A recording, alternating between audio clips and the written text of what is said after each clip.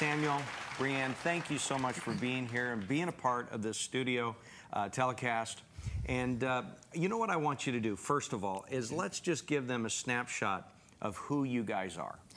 In a nutshell, we um, truly uh, want to let you guys know that um, we represent, um, to the best of our ability, uh, Jesus Christ in, in our music. Amen. And um, we also, um, as far as not just on the music aspect, but also on the teaching aspect, um, we um, have a heart to serve together.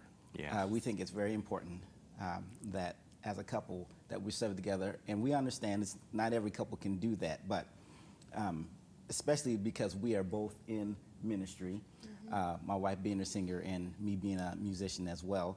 Um, we um, have always desired, ever since we first got married, to do this together. Yeah. So that is really who we are. Uh, we are a team.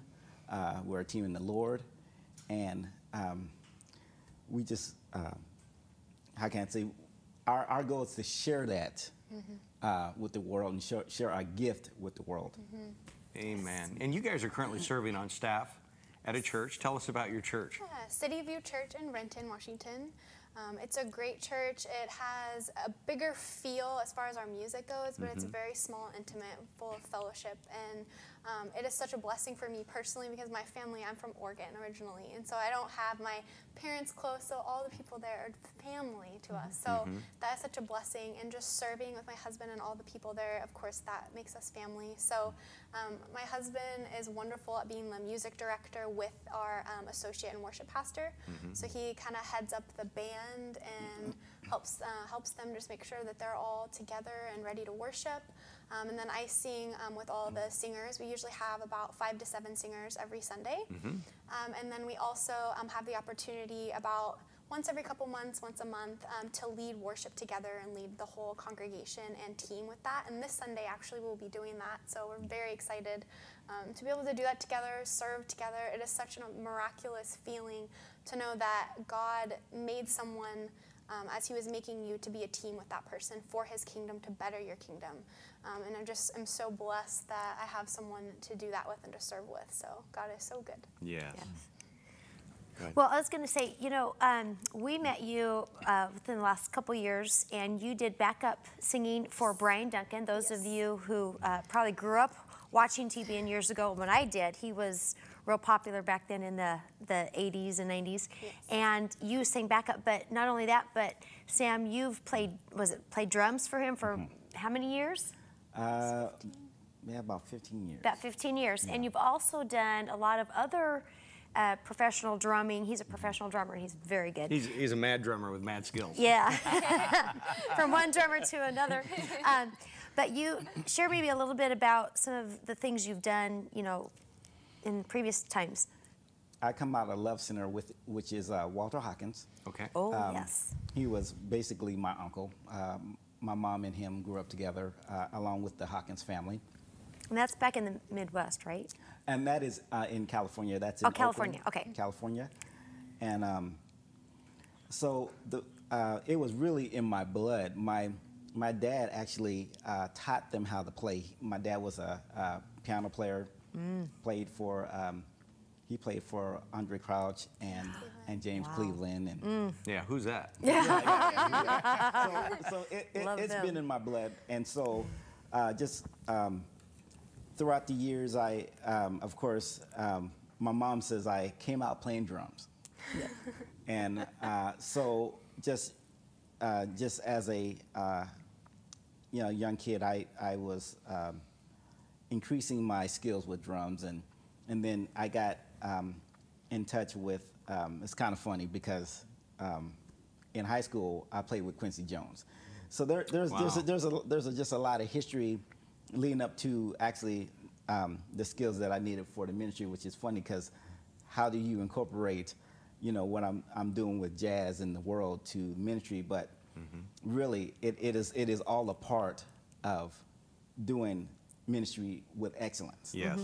So just to answer your question, so I um, started playing with Promise Keepers Yes. and started playing with Dr. Dave Jeremiah um, which uh, my last tour with him was uh, 2010, and um, still great friends. We saw him when he came to Seattle, uh, and we just had a great time uh, with him, my wife and I, Yes. and um, so um, and then also in um, on the gospel side, I I was playing with uh, Rance Allen and and a few other gospel artists uh, who are also coming up, who were coming up at the time. So I really had the privilege to to be able to uh, play with different artists um, and uh, you know and do different uh, just ministries with these. I, I they're just friends, really. Yeah. Right. They're they're just friends. I, they're artists, of course, but I mean, but they're friends. Uh, you know, Yeah. I, behind the scenes, if you will. Um,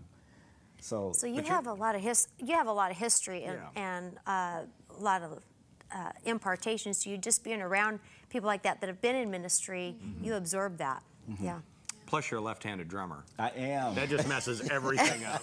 Yeah, Yes. he gets teased a lot for that. Yes. Me being a left-handed drummer. Uh, There's something about it that makes it awesome, though. I don't know. He's playing in a mirror. yeah, exactly. so, how did you guys meet?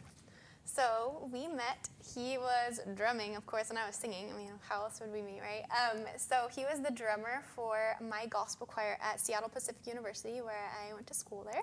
Okay. Um, and I have a BA in psychology from SPU. And I was in the gospel choir singing, and there he was playing the drums. And now it's all history. Here we are. Wow, and you've been married. so, how um, almost three and a half years. Wow. Yes. And you love being married. I can see love that. Yes. being married. That's Yes. my best friend, and that's.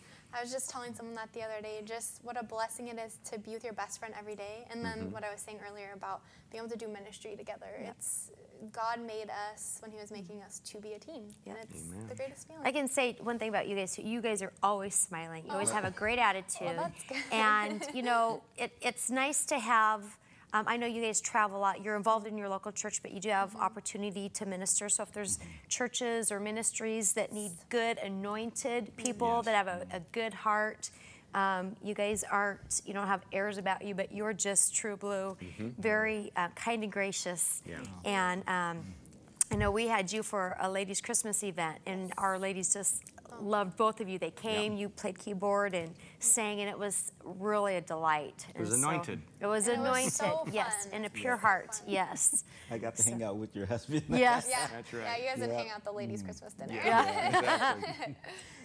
Um, now, th- the thing that I love about Seattle Praise the Lord, it's it's really the, the goal is to highlight the local churches mm-hmm.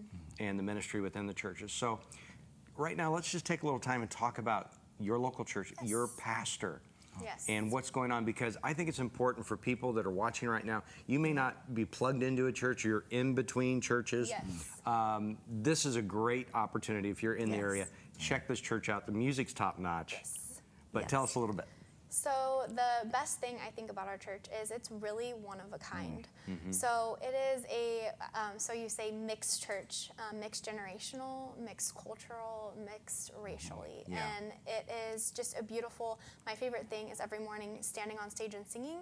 And be able to look out at what God's kingdom looks like, Mm-hmm. um, and seeing every culture from every country, you know, all together in one room, and it's a beautiful thing worshiping together. So I think that that is, um, you know, a lot of people say that our church is Renton's best kept secret. We don't want it to be a secret. Mm-hmm. Right, right, right. Well, I'm glad it's it's best, you know, the best part of it, but not the secret part. So we want people to know that it is a place where no matter what um, denomination you're, you've come from, no matter what walk of life you're in, um, you know, whatever what language you speak, you're totally welcome there. And that is definitely my favorite part. Um, another wonderful thing about our church is our pastor, Pastor Chester Gross. He is an amazing teacher. He just gets up there and talks to you like we're talking right now Yeah. but it's so profound and so anointed. Um, he really has the gift of teaching. Um, he's not an evangelist type preacher, but he's a teacher.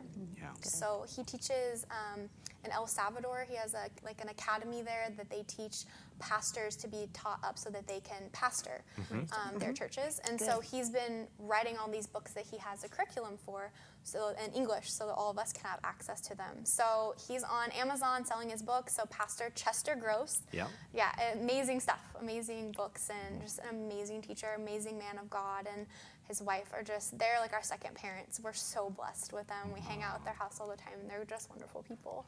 That's wonderful. Wonderful. So, tell us a little bit about your vision and your goal because I know churches all around the Northwest or, or beyond, they're always looking for um, competent, qualified talent, but talent is one thing, heart is the other. I believe that when people are looking, it's right in their church. That's Yeah. right. It actually right. I mean, there are many people out there that are just whether they're scared, m- some are frustrated. You know, some are coming from places that are hindering them from using their their gift right to the fullest. So, Yeah. so uh, specifically in music for for us, you know, everybody knows about spiritual warfare. Yeah. That's right. Um, but one thing that, um, just as a little boy, that I was taught was, you know, remember how the Lord loved his disciples. Right. Remember how he taught them through his example. And so, um, one thing that is always on my heart is to use the people that you guys have. Um, I mean, you can bring people in, and um, you know, we come in, but we come in to really establish a foundation, um, a foundation to be able to, when we leave, you know, that there is a foundation, and there also is a family established. Right. you know so so you know so usually we go in and uh, and we teach and we also uh, get into the word together um, and we you know and we study you know we study music uh, you know and i study fundamentals about music and those types of things. Uh, we do those things but we also really get into the word and we get into how does all this incorporate with the word you know? And and me being a drummer a lot of people forget that drums are battle cry. Yeah. Yeah. that's That's you know, if you look at the history that's what drums were made for. It was the battle cry. You hear those drums oh we're going to war. Yeah. Yeah. so um, and so I, I use that to break down strongholds mm-hmm. Well, thank you so much for joining us today here at Seattle. Praise the Lord. And we just trust that you have an incredible day. Remember, Christ died for you so that you can live your life with success. May God bless you and have a wonderful and an amazing day.